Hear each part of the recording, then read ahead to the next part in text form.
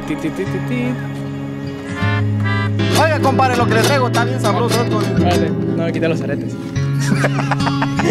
No, pues estamos. Sí, nos están reportando aquí que ya se viene la lluvia. Listo. Comadre, muy, pero muy buenos días les tengo a usted. Buenos, días- buenos días, comadre. Totonaco, ¿quién iba a decir el pesado? Ay,